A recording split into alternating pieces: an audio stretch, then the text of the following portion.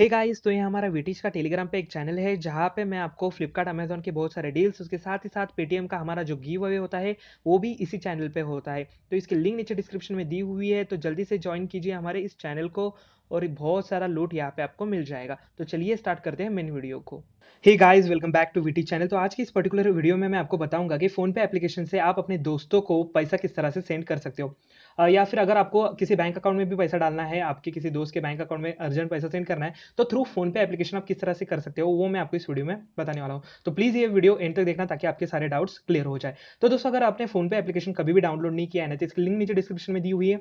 वहीं से डाउनलोड करना, क्योंकि डाउनलोड कर दिया, आपको यहाँ पे स्क्रैच कार्ड भी मिल जाएगा। तो आपको स्क्रैच कार्ड भी मिल जाएगा, जिसमें से आपको सेवेंटी फाइव रुपीज़ से हज़ार रुपये तक कोई भी अमाउंट मिल सकती है। तो बेसिकली यहाँ पे देख सकते हो, मैंने बहुत सारा अर्निंग यहाँ पे किया है। रेफर एंड अर्न करके भी फ़ोन पे एप्लीकेशन पे आप बहुत सारा पैसा कमा सकते हो। लगभग ग्यारह सौ रुपये ये पर्टिकुलर अकाउंट में मैंने जमा किया अभी तक फ़ोन पे के। तो बेसिकली सीन क्या है पता है यहाँ पे? लोग क्या करते हैं? फ़ोन पे एप्लीकेशन डाउनलोड करते हैं रजिस्टर कर देते हैं। उसके बाद उनको पता नहीं चलता कि किस तरह से पैसा सेंड करें अपने दोस्तों को, ठीक है? तो इसमें आपको बेसिकली करना क्या है? फ़ोन पे के होम पेज पे आपको यहाँ पे टू कॉन्टैक्ट का ऑप्शन दिखाई दे रहा है तो उसके ऊपर मैं क्लिक कर देता हूँ। तो अभी यहाँ पे जो पैसा हम लोग सेंड करते हैं तो उसके भी बहुत सारे तरीके रहते हैं। एक तो है कॉन्टैक्ट दूसरा है भीम यूपीआई तो कॉन्टैक्ट मतलब क्या? आपके मोबाइल में जितने भी नंबर सेव रहेंगे वो ऑटोमेटिकली फेच हो जाएँगे यहाँ पे। वो सारे नंबर आपको यहाँ पे दिखाई देंगे। जो कि फ़ोन पे है जिनका अकाउंट फ़ोन पे है पे है वही मोबाइल नंबर आपको यहाँ पे शो करेंगे। उनको ही आप पैसा सेंड कर सकते हो। तो सपोज़ आपका कोई दोस्त फ़ोन पे नहीं है उसका अकाउंट नहीं है फ़ोन पे के ऐप पे तो आपको जो है डायरेक्टली उसके बैंक अकाउंट में पैसा सेंड करना पड़ेगा। वो भी कैसे करते हैं वो भी मैं आपको बताऊँगा। तो बेसिकली आपको क्या करना है सपोज़ आपका दोस्त फ़ोन पे रहेगा तो यहाँ से डायरेक्टली उसका नंबर आप सिलेक्ट कर सकते हो आपको मिल जाएगा। या फिर साइड में आपको यहाँ पे एक राउंड बटन दिखाई दे, दे रहा है पर्पल कलर का उसके ऊपर क्लिक कर देना। यहाँ पे आप उसका नंबर भी जो है सर्च कर सकते हो आपके कॉन्टैक्ट लिस्ट में। ठीक है? तो ये हुआ फ़ोन पे का एक नंबर लेके आप पैसा सेंड कर सकते हो। उसके बाद है भीम यूपीआई तो भीम यूपीआई क्या रहता है? जब भी कोई भी बंदा फोनपे पे एक नया अकाउंट ओपन करता है, उसका जो है भीम यूपीआई तैयार हो जाता है। जैसे कि पेटीएम का रहता है एट द रेट पेटीएम करके फ़ोन अपना गूगल पे का भी एक रहता है, okay H D F C ऐसा करके एक यू पी रहता है। तो अपने फ़ोन पे का जो है, वो भी है at the rate Y B L मतलब स्टार्टिंग में आपका नंबर रहेगा, जो भी रहेगा, वो one two three four five nine ten digit उसके बाद at the rate Y B L करके आपका एक यूपीआई आईडी क्रिएट हो जाएगा। तो आप क्या कर सकते हो? सिंपली अपने दोस्तों का यूपीआई आईडी यहाँ पे ऐड कर सकते हो। ऐड भीम यूपीआई आईडी करके, इसके बाद यहाँ पे उसका एंटर कर देना। तो मोस्टली क्या रहता है, वही बाय डिफ़ॉल्ट जब भी फ़ोन पे पे आप अकाउंट बनाते हो, वही यूपीआई आईडी बन जाता है at the rate Y B L करके।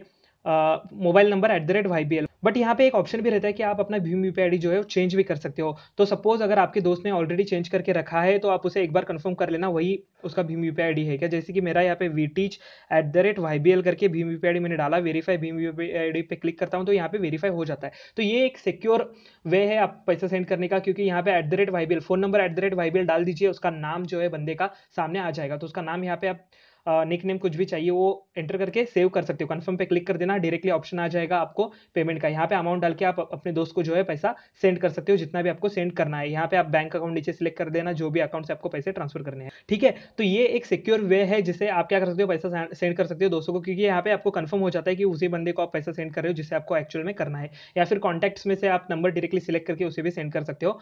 आ, उसके बाद बैंक अकाउंट लास्ट का ऑप्शन है तो बेसिकली यहाँ पे देख सकते हो रिसेंट में मेरे बैंक अकाउंट दिखा रहे तो ये एक्चुअली मैंने रिसेंटली जिन लोग को सेंड किया था पैसा उन लोग के अकाउंट नंबर से अगर आपको किसी नए बंदे को सेंड करना है जिसे आप आ, मतलब इमरजेंसी है किसी को कभी पैसा सेंड नहीं किया मतलब अचानक से किसी को सेंड करना है तो क्या करना सिर्फ़ एड बैंक अकाउंट पर क्लिक कर देना यहाँ पे पूरी चीज़ें डालनी है। आपको आईएफएससी कोड मतलब क्या रहता है आपने अपने दोस्त को पूछ लेना उसका आईएफएससी कोड क्या है तो बेसिकली आपका जो पासबुक रहेगा ना उसके ऊपर हर एक बैंक का अलग अलग आई कोड रहता है वो आपको एंटर करना पड़ेगा यहाँ पे। उसके बाद अकाउंट नंबर डाल देना जो बारह डिजिट का अकाउंट नंबर रहता है, वो उसके बाद उसे वापस कंफर्म कर देना है आपको। उसके बाद अकाउंट होल्डर नेम तो ये ज़रूरी नहीं है कि राइट होना चाहिए बट फिर भी आप पूरा नाम डाल दीजिए वो सामने वाले बंदे का। उसके बाद ये फ़ोन नंबर और निक नेम जो है ऑप्शनल है फ्यूचर यूज़ के लिए यहाँ पे इन लोगों ने निक नेम पूछा है बट वो डालने की ज़रूरत नहीं है। अकाउंट होल्डर नेम जो भी रहेगा वो डाल देना और बाकी ये जो ऊपर वाली चीज़ है अकाउंट नंबर और आई कोड वो परफेक्ट होनी चाहिए। उतनी होने के बाद कंफर्म पे क्लिक करके आप डायरेक्टली उसे पैसा जो है वो सेंड कर सकते हो। तो दोस्तों, बहुत ही ईजी है यहाँ पे फ़ोन पे ऐप से आप पैसा किसी को भी इजीली सेंड कर सकते हो। तो एक बार मैं मेरे दोस्त को जो है पैसा सेंड करके दिखाता हूँ। तो सिंपली मैं कॉन्टैक्ट्स में आ जाता हूँ, उसका जो नंबर है, यहाँ से मैं सिलेक्ट कर लेता हूँ।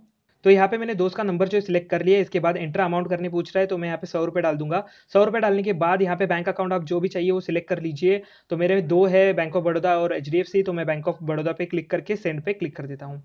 तो आप तीनों में से कौन सा भी वे यूज़ कर सकते हो, तीनों भी सेम है।